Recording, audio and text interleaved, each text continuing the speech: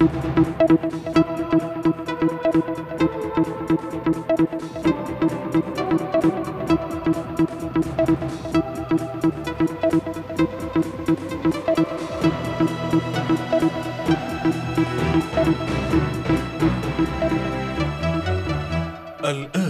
نشرة الأخبار مع جمان ممتاز. أهلا بكم إلى نشرة إخبارية مباشرة من قناة الفلوجة الفضائية. نبدأها مع أبرز عناوينها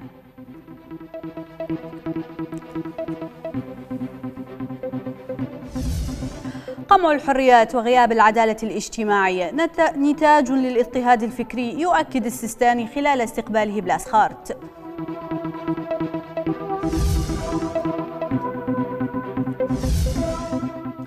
مكافحة الفقر ومحاربة التصحر أولوية. السودان يعول على القمة الصينية العربية لاقتباس تجارب ناجحة.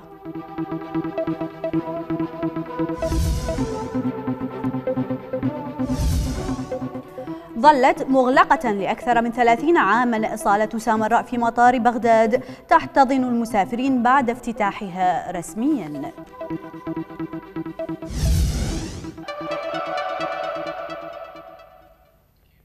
البداية من النجف إذ أكد المرجع, المرجع الديني السيد علي السيستاني أن المآسي التي تعاني منها الشعوب ناتجة عن الاضطهاد الفكري والديني وقمع الحريات الأساسية وغياب العدالة الاجتماعية.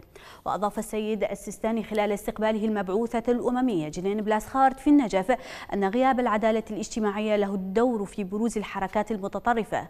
بدورها أكدت بلاسخارت دعم المرجعية الدينية للتعايش السلمي في البلاد لافتة إلى أن اللقاء لم يشهد مناقشة الملف السياسي.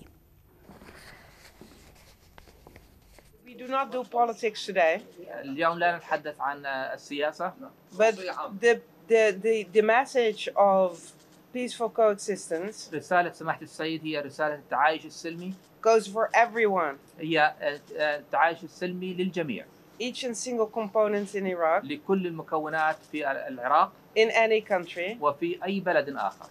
And as representatives of the United Nations و... in Iraq, I can only emphasize the importance of Iraq's political leaders to follow suit.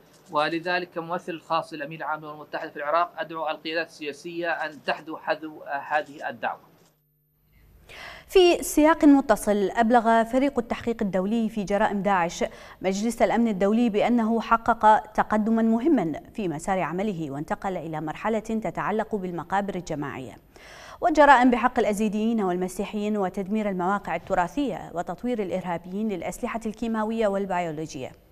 وفي جلسة سفراء مجلس الأمن الدولي قال رئيس فريق التحقيق كريستيان ريتشار إن الفريق أحرز تقدما في قضايا الجرائم التي ارتكبت ضد المسيحيين مثل الاستعباد وفيما يتعلق باستخدام الأسلحة الكيماوية والبيولوجية. كما طرح عمليات الحفر في العديد من مواقع المقابر الجماعية المرتبطة بداعش في العراق ولفت إلى أن الفريق قام حتى الآن بتحويل خمسة ملايين ونصف المليون صفحة صفحة من الأدلة الوثائقية للجرائم المتعلقة بداعش إلى ملفات رقمية. ودعا الفريق البرلمان إلى النظر في تبني تشريعات محلية ملائمة بشأن الجرائم الدولية الأساسية. Crimes uh, which were um, committed against all affected communities here in Iraq. في العراق عدد كبير من شرائح المجتمع بمختلف انتماءاتهم تعرضوا لجرائم تنظيم داعش الإرهابي. ونحن نواصل مكافحة الإرهاب أي أعني الجرائم الدولية في المقام الأول مثل الإبادة الجماعية والجرائم ضد الإنسانية وجرائم الحرب. ولقد بدأنا للتو تحقيقا جديدا فيما يتعلق بتدمير مقاتلي داعش للتراث الثقافي في العراق. وتدمير الأضرحة والكنائس والمواقع الثقافية والمواقع الأثرية والمتاحف. وأصدرنا بالفعل بعض التقارير حول العمل الذي تم إنجازه مثل التحقيقات المتعلقة بالجرائم ضد المجتمع الإزيدي والجرائم ضد طلاب القوة الجوية في معسكر سبايكر. وفي غضون ذلك أعلن جهاز مكافحة الإرهاب تنفيذه عملية مهمة ونوعية في سلسلة جبال حمرين في محافظة صلاح الدين. وقال الجهاز في بيان إنه بتوجيه من القائد العام للقوات المسلحة وبالتعاون مع مديرية الاستخبارات نفذ واجبا أمنيا في سلسلة جبال حمرين مشيرا إلى أن نتائج العملية ستعلن لاحقا. من جانبه قال مصدر أمني إن طيران الدفاع الجوي نفذ ضربات جوية دقيقة على أوكار لعناصر داعش مشيرا إلى أن جهاز مكافحة الإرهاب نفذ عملية إنزال بإسناد طيران الجيش للتفتيش في أماكن الضربات. وأوضح المصدر إنه حسب المعلومات الواردة فإن الضربات أدت إلى مقتل أكثر من ثمانية من عناصر داعش.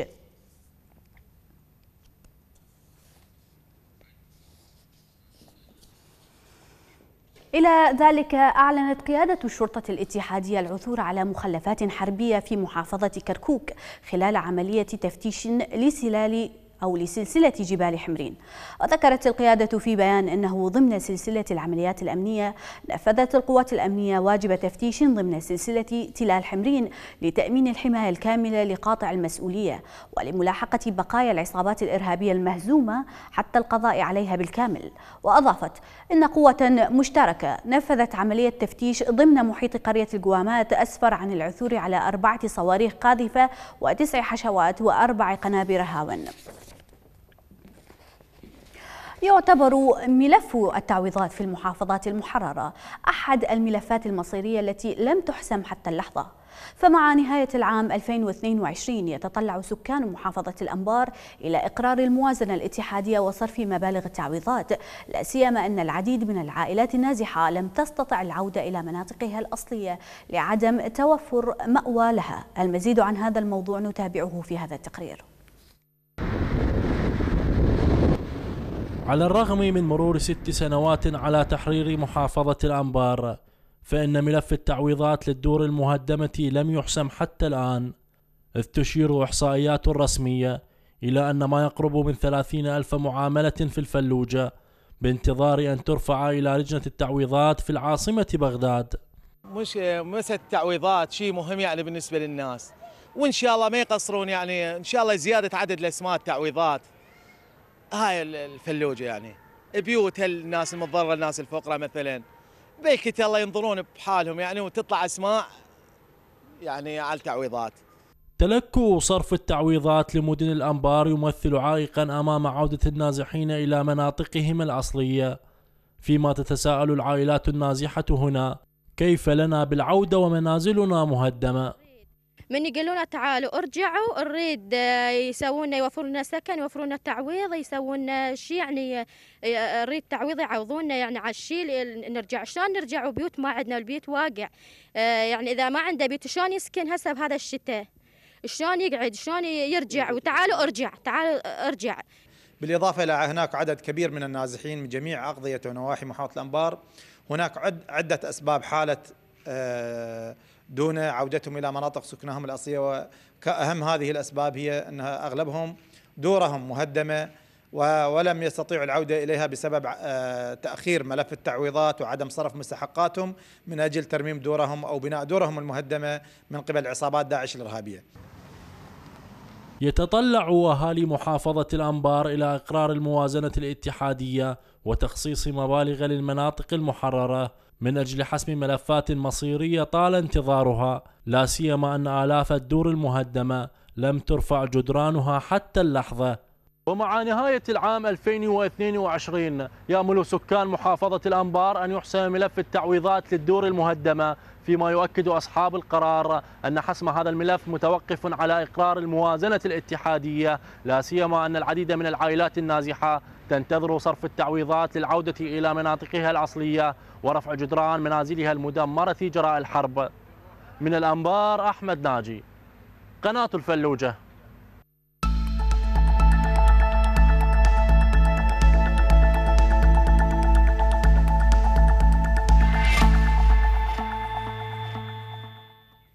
دبلوماسيا وتحديدا في ملف الاقتصاد. اعتبر رئيس الوزراء محمد الشاع السوداني إن للمشاركة في القمة العربية الصينية المقرر عقدها في العاصمة السعودية الرياض أهمية خاصة مؤكدا تطلع حكومته لاقتباس تجارب الصين الناجحة في مجالات مكافحة الفقر ومحاربة التصحر والانتقال من اقتصاد الدولة إلى اقتصاد السوق.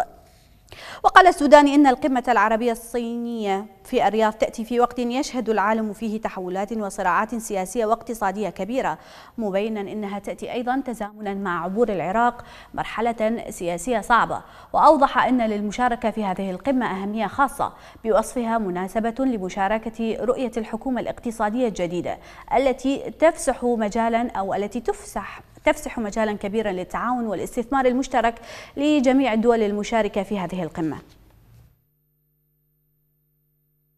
أكد وزراء خارجية العراق والأردن ومصر زيادة التعاون بين البلدان الثلاثة في قطاعات التجارة والصناعة والاقتصاد والنقل البري بالإضافة إلى الربط الكهربائي والطاقة. واجتمع كل من وزيري الخارجية العراقي وفؤاد حسين ونظيريه الأردني أيمن الصفدي والمصري سامح شكري في إطار آلية التعاون الثلاثي للعمل على تطوير العلاقات ورسم خارطة طريق لحل المشكلات والأزمات العربية والإقليمية.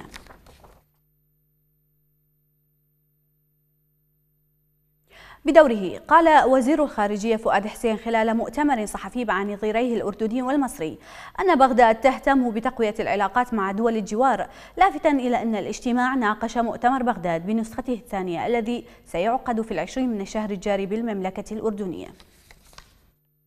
في هذا الاجتماع مناقشة مجموعة من المواضيع و له علاقه بخاصه المشاريع الاقتصادية بالإضافة إلى أيضا التطرق آه، مؤتمر القمة أو مؤتمر بغداد النسخة الثانية آه، والذي ينعقد في عمان في 20 من هذا الشهر. وأيضا تمت الإشارة في اجتماعاتنا اليوم آه، تمت تم الإشارة إلى اجتماع القمة العربية الصينية اللي ينعقد في آه، في الرياض. آه، هذه الآلية مهمة لاستمرارية العمل وتستند إلى أيضا منطلقات عراقية السياسة الخارجية العراقية تستند إلى آه، خلق حالة التوازن في العلاقات وخاصة في العلاقات مع دول الجوار و السياسة الخارجية العراقية تهتم كثيرا بتقوية العلاقات مع جميع دول الجوار العراقي. هذا وأكد وزير خارجية الأردني أيمن الصفدي أن الاجتماع الثلاثي حقق كثيرا من الإنجازات بين الدول الثلاث بما يتعلق بالتعاون الاقتصادي والتجاري بالإضافة إلى الطاقة لافتا إلى أن الأردن يقف دائما مع العراق ودعم أمنه وسيادته. عملنا المشترك مصلحة مشتركة لنا جميعا. نمضي في تنفيذ توجيهات القادة. القيام بكل ما هو لازم من أجل تفعيل التعاون وتعميقه في مختلف المجالات. وعلى مدى السنوات الماضية استطعنا أن نتفق على عديد مشاريع العمل مستمر من أجل إنجازها. وأيضا اجتماعنا اليوم آه، يأتي للتأكيد على وقوف آه، جمهورية مصر العربية الشقيقة والمملكة بالمطلق إلى جانب العراق الشقيق ودعم آه، أمنه واستقراره وسيادته ركيزة لأمن منطقتنا وضرورة من أجل الحفاظ على الأمن والاستقرار الإقليمي. كما تعلمون العراق الشقيق حقق نصرا تاريخيا كبيرا على العصابات الداعشية في الماضي و بدأ عملية إعادة البناء والإعمار بشكل ثابت وواضح ورأينا نجاح هذه العملية. تبدى في المرحلة الأخيرة بنجاح العملية السياسية وتشكيل الحكومة الجديدة التي نتطلع للعمل معها من أجل المضي في عملنا المشترك وتعزيز تعاوننا. من جانبه أكد وزير الخارجية المصرية دعم مصر لأمن ووحدة وسيادة العراق ومساندته في حلحلة مشكلاته السياسية والاقتصادية لافتا إلى الاستمرار في التواصل والتعاون بين البلدين أو بين البلدان الثلاث وفق اتفاق مشترك. نعمل آه، على آه، توثيق هذه العلاقة على آه، استكشاف مواضع التعاون التي تصب في مصلحة شعوب البلدان الثلاث ونستمر في أيضا العمل على التنسيق الوثيق ودعم العراق. ونهنئ على ما تحقق من التوصل إلى العملية السياسية وما تنبئ إليه من استقرار وسيادة ووحدة الأراضي العراقية واستمرار العراق كمكون رئيسي في إطار العمل العربي المشترك وتدعيم الاستقرار في المنطقة. افتتح مطار بغداد الدولي صالة سامراء في المطار بعد أكثر من 30 عاما على إغلاقها ويأتي هذا الحدث بالتزامن مع يوم الطيران المدني. وذكر إعلام المطار في بيان إنه جرى الافتتاح برعاية رئيس مجلس الوزراء محمد الشاع السوداني الذي وجه بسرعة إكمال متطلبات القاعة ومتابعة الإجراءات مع المسؤولين في المطار وسلطة الطيران المدني ووزارة النقل. وأضاف أنه بعد افتتاح صالة سامراء المغلقة منذ العام 1000 1991 سيتم فتح صالة نينوى التي تعرضت لحادث حريق أخيراً. تزامنا مع اليوم العالمي للطيران المدني الدولي الإيكاو. وحقيقة العراق هو عضو مؤسس في هذه المنظمة لمدة 75 سنة عضوا مؤسسا لهذه المنظمة. اليوم تم افتتاح صالة سامراء بعد توقف من عام 1990 بجهود ورعاية دولة رئيس الوزراء ومتابعة رئيس سلطة الطيران المدني افتتاح صالة هذه الصالة صالة سامراء وصالة نينوى الذي تعرضت للحريق في وقت سابق. ومن ضمنها تأهيل المطار اللي هو الآن موجودين به. هذا مطار متوقف أو قاعة متوقف في 1990 وتم إنجازه ب 2018 ولكن تأخير من سلطة الطيران السابقة. اليوم الحمد لله والشكر افتتحنا هذه الصالة وإن شاء الله نرى صالات أخرى ومطار جديد يليق بالعاصمة بغداد. هذه الصالة مع بقية أمور أخرى والجسور الهوائية أكثر ما يقارب حوالي 70 مليار دينار. في المقابل كشفت وزارة الكهرباء عن التفاوض مع قطر وتركمانستان لتوريد الغاز بجزيئات محددة لسد النقص الحاصل في الطاقة مؤكدة تسديد جميع الديون التي بذمتها لصالح طهران. وقال المتحدث باسم وزارة الكهرباء أحمد موسى إن العراق سدد بالكامل ديونه الخاصة بالغاز إلى الجانب الإيراني من تخصيصات قانون الدعم الطارئ للأمن الغذائي والتنمية.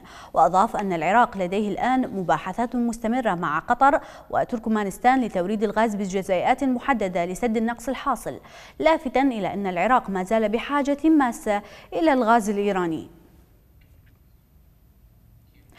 وفي شأن آخر كشف وزير العمل أحمد الأسدي عن مخرجات اجتماع لجنة تنظيم العمالة الأجنبية.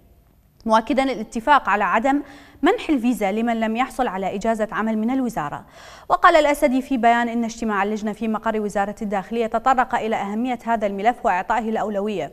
وجرى الاتفاق على استمرار اجتماعات اللجنة خلال الأيام المقبلة وأضاف أن الفترة المقبلة ستتضمن سلسلة اجتماعات مع الملاكات المتقدمة في وزارة العمل والداخلية والخارجية والهجرة.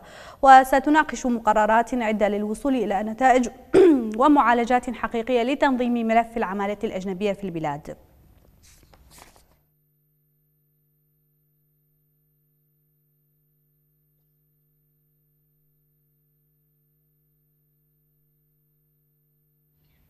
أكثر من ألف عائلة في بعقوبة بمحافظة ديالى مهددة بالتشرد لأنها تسكن في مناطق عشوائية تابعة للحكومة المحلية. تقريرنا التالي يتحدث عن تفاصيل معاناة تلك العائلات. تسكن أم عباس وسط هذا الدار المتهالكة في منطقة العشوائيات شرق بعقوبة أصبحت مهددة بالنزوح بعد عدة قرارات بإزالة المنازل المتجاوزة على أملاك الدولة. فيما تقول أن إجراءات شراء الأرض من الحكومة توقفت بعد إلغاء المادة الخامسة والعشرين التي بموجبها تباع أملاك الدولة. أم عباس نموذج لآلاف النازحين والفقراء. ممن يسكنون التجاوز. إحنا تهدرنا من مناطقنا. وهسه إحنا جينا هنا وين نروح يعني؟ يمنا وغنم وإحنا ما عندنا تمكان ما عندنا قبل قرار قالوا يثبتونكم هسه ماكو. لا تثبيت ولا أبد. كل يوم يقولوا لنا شيلوا قالوا لنا على المادة 25 شو المادة 25 لغت فيوميا يجينا واحد يهز شلون النخله من يهزون يقع منها تمر يوميا يهزون بنا يوم باكر نشيلكم باكر نشوف لكم يعني نرمح لكم من ثلاث أرباع هاي المنطقة. أبو خانقين أبو جلولاء أبو مندلي يعني كنا مهجرين. الدستور العراقي ألزم الحكومة بتوفير العيش الكريم لجميع المواطنين وتوزيع قطع أرض لهم إلا أن الإجراءات الحكومية تعكس حجم اللامبالاة اتجاه الشرائح الفقيرة والتي تضطر في بعض الأحيان بالسكن بمناطق عشوائية حتى لو تعرضت حياتهم للخطر كحال هذه القرية التي بنيت تحت أعمدة التيار الكهربائي العالي. طالما الحكومة عاجزة أو مقصرة في هذا الشأن فعليها أن تتريث وأن تتصرف بحكمة مع أصحاب العشوائيات. لأنهم هؤلاء الناس كانوا يتأملون تطبيق القانون 25 واستملاك هذه الأراضي. فيما تستمر الجهات المعنية بتوجيه إنذارات إزالة للعائلات وتنفيذها في المناطق التي تقع ضمن حدود المشاريع أو الاستثمار ليبقى مصير هذه العائلات مجهولا في ظل إجراءات حكومية. لم توفر الحلول لمعاناتهم. هناك بعض المشاريع التي خصصت في هذه الأراضي بالنتيجة يتم توجيه إنذار من قبل الدوائر المعنية البلدية وغيرها أو دائرة الزراعة. يتم ترحيلهم. وقد تلجأ هذه العائلات للهجرة قسرا إلى مكان آخر بعد إجراءات حكومية تجبرهم على ترك مناطقهم بقرار الإزالة. ورفع التجاوزات من محافظة ديالى عمر العبيدي قناة الفلوجة. في خطوة لتنويع مصادره بدلا من الاعتماد على تصدير النفط يتجه إقليم كردستان لتصدير إنتاجه الزراعي من الفواكه إلى دول الخليج إضافة إلى تسويقها إلى أوروبا. المزيد عن هذا الموضوع نتابعه في هذا التقرير. يتجه إقليم كردستان إلى الاعتماد على القطاع الزراعي الأخضر بدلا من تصدير النفط لزيادة دخله الاقتصادي حيث بدأ بتصدير منتجاته الزراعية المحلية من الفواكه والخضروات وخاصة الرمان إلى الأسواق الخليجية في حين يسعى خلال الأشهر القليلة القادمة لتسويق تلك المنتجات إلى الأسواق الأوروبية. للمرة الأولى تمكنا من تصدير النتاج المحلي الزراعي إلى الخارج وهذا تنفيذا للوعد الذي قطعناه سابقا. نشكر الله عز وجل على تطبيق هذا الوعد على أرض الواقع وفتح باب جديد لمزارعينا ما يمهد الطريق بتصدير مختلف المنتوجات الزراعية إلى الخارج. المرحلة الثانية التي تخطط لها حكومة الإقليم هي تسويق محاصيل زراعية أخرى مثل العنب والتين والتفاح. وحتى العسل خصوصا أن تلك المنتجات تتمتع بجودة ومذاق مميز ما يضع إيرادات الإقليم في تزايد مستمر. إحنا نقدر نعتبر ان الكردستان والمنطقة الشمالية تقدر تعتبر إنه هي تكون سلة غذاء لتغطية كل المناطق الموجودة بالوسط وجنوب العراق بالإضافة إلى في بعض المواسم كردستان لديها القدرة على تصدير هاي المحاصيل إلى تصديرها إلى خارج القطر. إحنا نتمنى من الحكومة أن تمد الفلاح ويشتغل الفلاح. ليش نستورد من إيران أو من تركيا أو من مصر؟ إحنا نستورد للدول الخارجية. وتولي حكومة الإقليم اهتماما كبيرا بالقطاع الزراعي والمنتجات المحلية فضلا عن دعمها الكامل لمزارعي كردستان وفلاحيها بتأمين مستلزماتهم الزراعية. كافة إلى خمسة دول خليجية يصدر الإقليم منتوجاته الزراعية ويسعى إلى تصدير المزيد منها إلى الدول الأوروبية. وفق خطة وضعتها حكومة إقليم كردستان لتنمية وضعه الاقتصادي. بشير الحسن قناة الفلوجة أربي. لم تستوعب الأوساط السياسية والشعبية في كركوك نبأ وفاة القيادية في المشروع العربي عفيفة جميلي التي وفاها الأجل بعد تدخل جراحي أجرته قبل أيام. المرحومة عفيف كانت مثالا للإنسانية بفضل وقوفها مع أهلها في شتى المجالات. التفاصيل في سياق هذا التقرير. كركوك عراقية بهوية عراقية نرفض سلب الحقوق. ليلة صادمة عاشتها الأوساط الكركوكية بعد سماعها خبر وفاة السيدة عفيفة الجميلي. قيادية عرفت بمواقفها النبيلة تجاه النازحين. عفيفة التي سعت جاهدة في قضاء حوائج الفقراء. لم تتوان يوما عن الوقوف إلى جانبهم في المخيمات. هي تلك المرأة التي كانت مثالا إنسانيا يحتذى به. بعد ما انتهت آه، حملات إغاثة النازحين ومدارس الرصافي واستمرارا بالعطايا والهدايا والسلات الرمضانية كلها كانت مشاركة بها وكانت يعني هذه الأمور هي من أولويات آه، عملها وحياتها. كانت يعني حتى تبديها على عائلتها. الحمد لله على كل حال. واستمرت يعني حتى بعد انتهاء هذا الأزمة اللي مروا بها النازحين. ومساعدات طبية وتسفير مرضى ومكاتب علمية و... أم سرمد توفيت بعد مضاعفات عملية جراحية أجرتها قبل أيام في كركوك. هي واحدة من أبرز مؤسسي المشروع العربي في المحافظة. ست عفيفة كانت أكثر من امرأة اعتيادية يعني كانت أم لكل الأيتام كانت مراقبة ومتابعة للوضع السياسي ناشطة جيدة.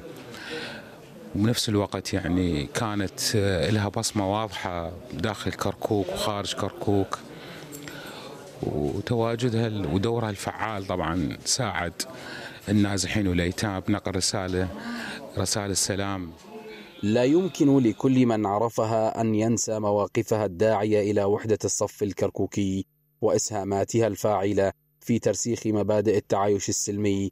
بين مكونات البلد الواحد؟ آه، القيادية البارزة في المشروع العربي في كركوك آه، السيدة التي عرفت بإنسانيتها والتي يسمونها الأغلب الأمة الحنونة أم الإنسانية التي لم يوقفها برد الشتاء ولا حر الصيف من خدمة أهلها وخصوصا أيام النزوح وأيام أيام التي لم يقف فيها الأخ مع أخيه.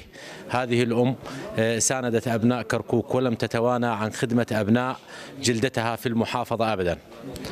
نرجو من الله أن يرحمها ويغفر لها ويجعلها في عليين يا رب العالمين. لطالما هذه السيدة الكريمة التي كانت لها مواقف عديدة مع جميع الناس ومع النازحين وفي المخيمات ولها دور إنساني كبير في مجتمع كركوك فرحيلها خسارة على كل أهل كركوك وعلى كل من قدمت له خدمة هذه المرأة العظيمة رحمها الله وأسكنها فسيح جناته. وبرحيلها يخسر المشروع العربي في كركوك إحدى أهم ركائزه التي ستظل شاخصة في التاريخ السياسي الحديث لهذه المدينة المتنوعة. من كركوك عبد الله العامري قناة الفلوجة.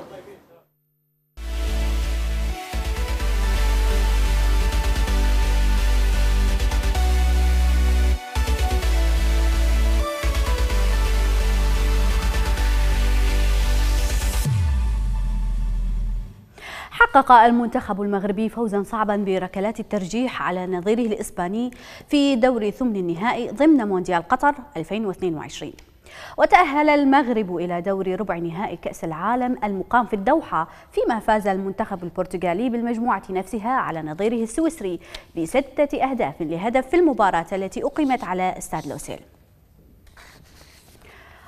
وتأهل المنتخب المغربي إلى دور ربع نهائي بطولة كأس العالم ليواجه نظيره البرتغالي في المباراة التي ستقام يوم السبت المقبل على ملعب الثمامة الدولي. كما تأهلت منتخبات فرنسا وإنجلترا وكرواتيا والبرازيل والأرجنتين وهولندا إلى ربع نهائي مونديال قطر 2022 فيما تقترب البطولة من المواجهات الصعبة والمصيرية في الاقتراب إلى تحقيق لقب كأس العالم. هذا وشارك العاهل المغربي الملك محمد السادس جمهور المنتخب المغربي فرحتهم بفوزه على نظيره الإسباني وتأهله إلى دور ربع النهائي من مونديال قطر 2022 وتداول ناشطون في وسائل التواصل الاجتماعي صورا ومقاطع فيديو للملك محمد السادس بسيارته وسط الجماهير المغربية وهو يرتدي قميص المنتخب الوطني محتفلا بفوز المنتخب. فيما شاركت دول عربية بالاحتفال كونه أول منتخب عربي يتأهل إلى دور ربع النهائي في تاريخ بطولة كأس العالم.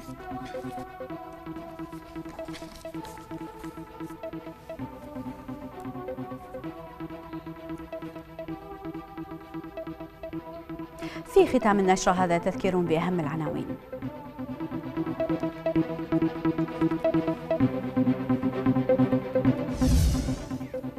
قمع الحريات وغياب العدالة الاجتماعية. نتاج للاضطهاد الفكري يؤكد السيستاني خلال استقباله بلاسخارت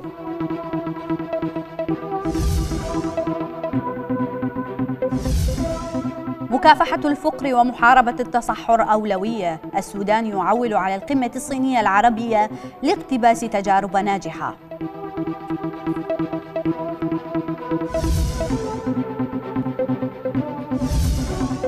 ظلت مغلقة لأكثر من ثلاثين عاما. صالة سامراء في مطار بغداد تحتضن المسافرين بعد افتتاحها رسمياً.